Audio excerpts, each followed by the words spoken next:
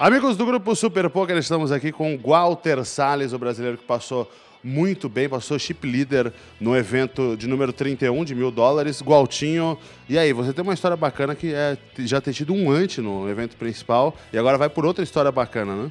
Ah, não sei, vamos ver se essa aí vai, vai construir uma história legal, né? Essa do ante foi no main event, de acho que três anos atrás, que eu acabei ficando em 117, mas teve um momento do torneio que faltavam 400 jogadores, já estava ITM mas me sobrou um antes só e nesse mesmo dia eu terminei o dia com 980 mil. É, hoje é uma situação diferente, eu estou começando o dia com bastante ficha, tenho 170 mil fichas. É, tentar jogar bem, não cometer erros, faltam ainda 115 jogadores, tem muita coisa para rolar, não, não, vamos ficar pensando muito para frente. É tentar jogar bem, não cometer erros, acumular fichas, quem sabe buscar aí uma mesa final. São 115 jogadores faltando, né? Tem alguém muito bom no field, não? Ah, tem, tem o, eu já vi que tem o, entre os primeiros está o Fará Jaca, está o Mike Sowers. É, eu não vi geral, mas eu sei que esses dois estão entre os dez primeiros em fichas. Então, é, com certeza deve ter, deve ter um, um field bem forte aí.